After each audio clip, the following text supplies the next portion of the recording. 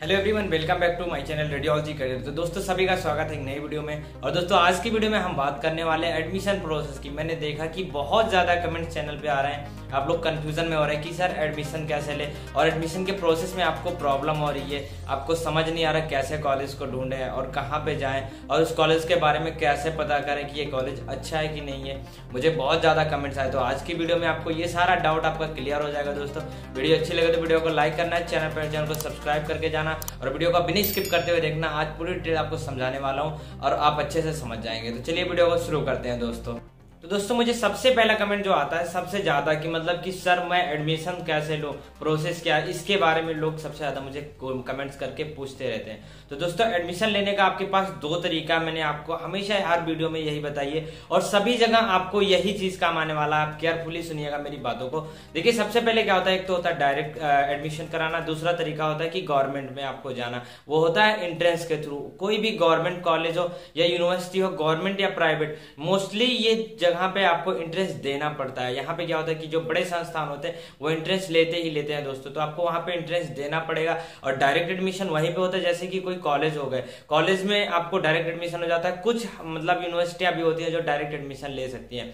तो जो direct admission में क्या होता है, आपको सिंपली आपको अपना डॉक्यूमेंट शेयर करना होता है कॉलेज को। जैसे आपने टेंथ एंड ट्वेल्थ का मार्कशीट देना होता है, आधार कार्ड देना होता है, अपना फ़ोटोज़ देना होता है। साथ में आपको माइग्रेशन सर्टिफिकेट अगर आपके यहाँ लगती है तो उसको देना होगा। और उसके साथ साथ आपको देना होगा यहाँ पे ट्रांसफ़र सर्टिफिकेट यानी कि टीसी जिसे कहते हैं, जो कि यूपी बिहार, राजस्थान में ये ज़्यादा जगह पे चलती है। और माइग्रेशन जम्मू एंड कश्मीर में मोस्टली चलता है या उड़ीसा सिक्किम साइड में, मणिपुर साइड में यहाँ पे माइग्रेशन सर्टिफिकेट्स बनते हैं। तो बोर्ड के बाद ये चीज़ आपको लेके जाना है कॉलेज में, आप, आपको एडमिशन मिल जाएगा। ये सिंपल सा तरीका है और साथ में आपको पेमेंट करना होता है कॉलेज को। जो भी कॉलेज यूनिवर्सिटी डायरेक्ट एडमिशन लेती है, उनको आपको सिंपली पेमेंट करना होता है। पेमेंट करने के बाद डॉक्यूमेंट दे दो आप, आपका एडमिशन हो जाएगा। और जो आपका गवर्नमेंट में जाने का, यानी कि जो एंट्रेंस के थ्रू जाना होता है, उसमें गवर्नमेंट एक फॉर्म निकालती है। जैसे मैंने कुछ पहले टाइम पहले आपको बताया था सीयूटी का फॉर्म आया था, वहाँ से आप जा सकते हो। और सेकंड अभी अटल बिहारी वाजपेयी उत्तर प्रदेश के लिए ओनली आया है तो वहाँ पे आप जा सकते हो अटल बिहारी वाजपेयी का फॉर्म फिल करके।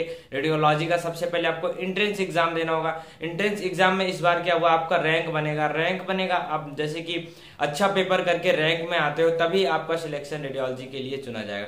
तो ये दूसरा तरीका था दोस्तों, यानी कि सिंपल है एडमिशन कराना कोई बड़ी बात नहीं है। यहाँ पे आपको मैंने गवर्नमेंट का भी तरीका बता दिया और आपको डायरेक्ट एडमिशन का भी तरीका बता दिया।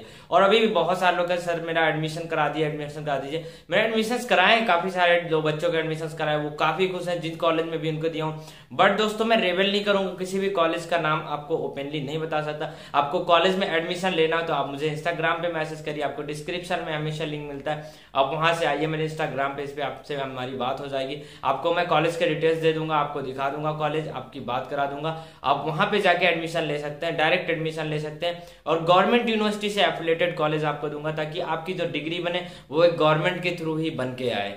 तो ये प्रोसेस था आपका एडमिशंस का और लोग कहते हैं कि कॉलेज ढूँढने की बात, दोस्तों कॉलेज आप कैसे ढूंढो? तो कॉलेज ढूँढने के लिए आपको क्या करना होता है? आप सबसे पहले गूगल पे जाते हो, वहाँ पे सर्च करते हो बी रेडियोलॉजी कॉलेज तो बहुत सारे स्टेट ऐसे हैं जहाँ पे सिर्फ़ और सिर्फ़ डिप्लोमा का ही कोर्स कराया जा रहा है रेडियोलॉजी में।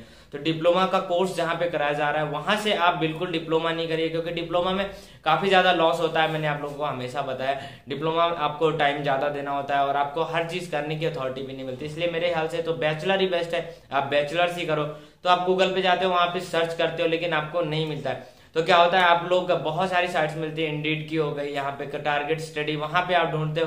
तो वो काउंसलर्स की साइट होती है, वहाँ पे जाओगे तो आपको पेमेंट वगैरह पहले कर देना होता है, बहुत सारा रूल्स होता है। तो दोस्तों, आपने ऐसे नहीं देखना, आप किसी यूनिवर्सिटी का पेज खोलो, उस पे जाओ जहाँ पे आपका रेडियो मेडिकल इमेजिंग टेक्नोलॉजी मिलता है। तो वहाँ पे रेडियो मेडिकल इमेजिंग टेक्नोलॉजी मिलने के बाद साइड में कॉलेज का ऑप्शन होता है, उस कॉलेज के ऑप्शन पे क्लिक करो वहाँ पे तो आपको दिख जाएगा कौन कौन से कॉलेज यूनिवर्सिटी से अप्लाइड है। उनके पास डिग्री होती है रेडियोलॉजी की, और उससे भी अच्छा तरीका कि आप जिस यूनिवर्सिटी में देख रहे हो कि यहाँ पे रेडियोलॉजी है, या जिस कॉलेज में आप देख रहे हो कि यहाँ पे बीएससी रेडियोलॉजी कराया जा रहा है, वहाँ पे जाइए, वहाँ के स्टूडेंट से मिलिए, बात करिए, उनका फीडबैक लीजिए, और इस तरीके से लीजिए कि आपको पता चल जाए सारे डिटेल्स कॉलेज कैसा है, यहाँ के बारे में, यहाँ का मैनेजमेंट सिस्टम कैसा है। जैसे कि मैंने कुछ कॉलेज देखे कि कॉलेज अच्छा है, खासा बनाया हुआ है, लेकिन उनका मैनेजमेंट सिस्टम है जो कोई मतलब रूल्स रेगुलेशन है ही नहीं दोस्तों।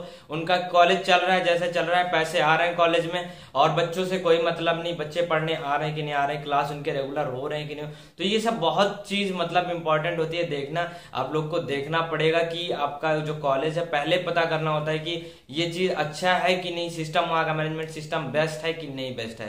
तो दोस्तों, ये चीज़ होता है आपको देखना। सबसे पहले आप कोई कॉलेज में एडमिशन लो तो आप ये चीज़ ज़रूर देखना कि आपका मैनेजमेंट सिस्टम कैसा है वहाँ पे।